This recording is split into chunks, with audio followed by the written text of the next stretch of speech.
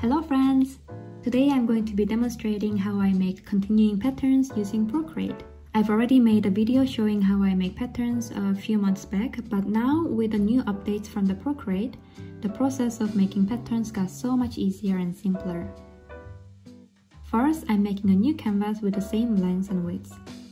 I usually just set mine to 1000 by 1000 pixels, but you can make it any bigger or smaller. The new canvas, I'm filling in the background with a color.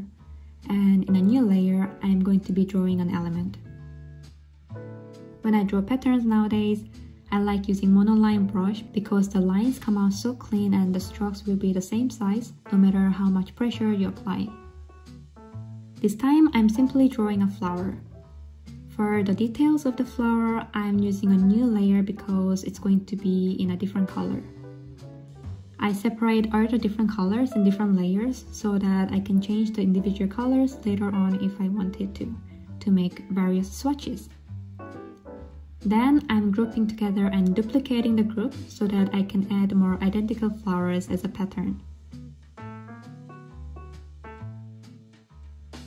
After, I'm just merging all the layers that are the same colors.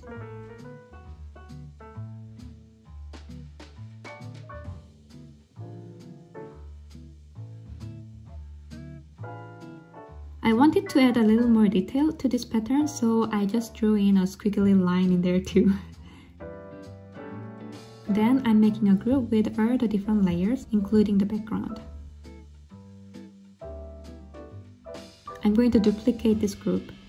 Now, with one group already selected, first I'm enabling the magnetic and the snapping tool. This is actually one of the updates from Procreate 5X and this feature is what makes the process of making patterns so so so much easier. Now we just need to drag the patterns to one direction, up, down, left or right until the border just snaps to the middle. For the duplicated group, I'm doing the same thing until the layer meets in the middle, which you will just feel it when you are moving them thanks to the snapping and magnetic tool and you'll also be able to see it with the yellow guidelines that appear when it's exactly at the midway.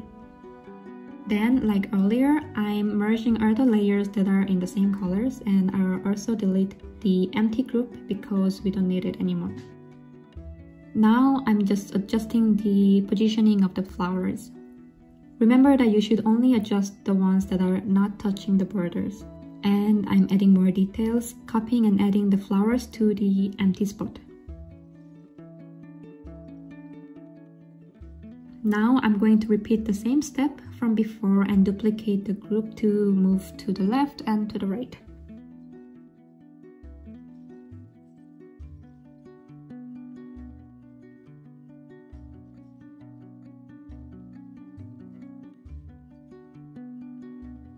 I didn't like how the flowers were positioned so I just moved it around a little bit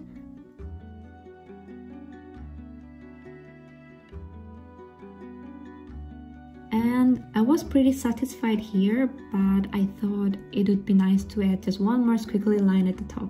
So I just repeated the same step from before but you can just stop here at this point if you are happy with the result already.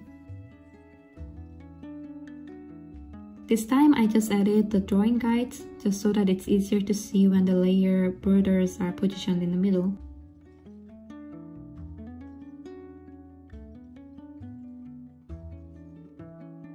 I added one more white squiggly line in the middle and voila, it's done. Now you can export as a picture and use it as a pattern. But for myself, I often like to see and edit the patterns when they are extended because it gives me a better picture of how the pattern looks like as a whole. So I'm duplicating this pattern and in the duplicated pattern canvas, I resize canvas to 2000 by 2000 pixels.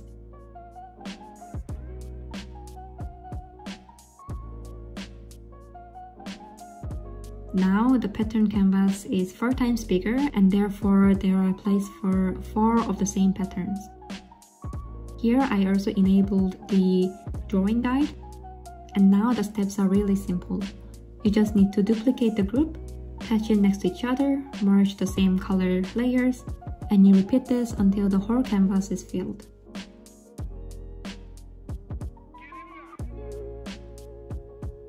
At the end, you'll just have one group with the layers. In my group, I have 4 layers including the background, and usually the number of layers would equal to the number of colors you use. Now we have this beautiful repeating pattern and you can have a good overview of how it looks like when it's patched next to each other. At this stage, I like to just duplicate the group just so that I can try different swatches. For doing that, I'll alpha lock the layers and paint over with different colors.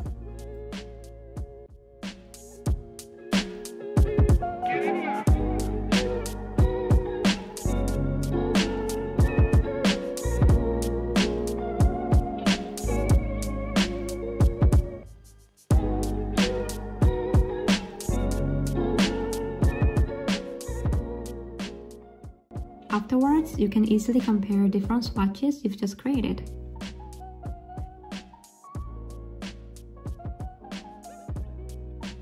And here are some other patterns I made using the same techniques. As you can see, you can add as many or less details and colors as you like. I hope this video was helpful and I wish you a wonderful morning, afternoon or evening wherever in the world you are. Thank you for watching and see you in the next video. Bye!